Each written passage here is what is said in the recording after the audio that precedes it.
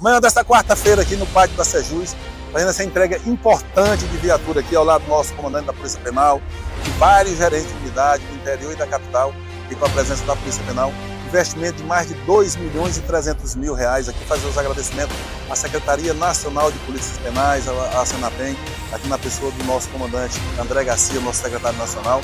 Fazer os agradecimentos também aqui ao governador Rafael Fonteles, que tem dado andamento em todas as nossas necessidades, aqui as nossas demandas do sistema penitenciário, seja na construção ou na reconstrução de unidades, certo? em projetos de ressocialização na área de educação, do trabalho.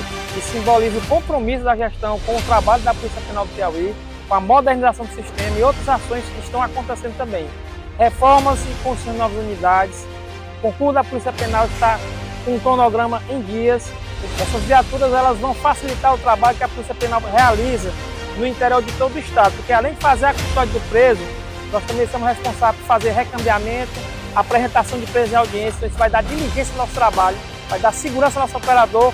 Nós seguimos aqui animados aqui na Sejus, ao lado dos policiais penais, na certeza que nós vamos junto com os policiais penais, junto com todas as nossas equipes aqui, multidisciplinares aqui, construir no estado do Piauí aqui um sistema de cumprimento de pena mais humano e mais justo, tá bom? Vamos juntos. Vamos juntos. Muito obrigado.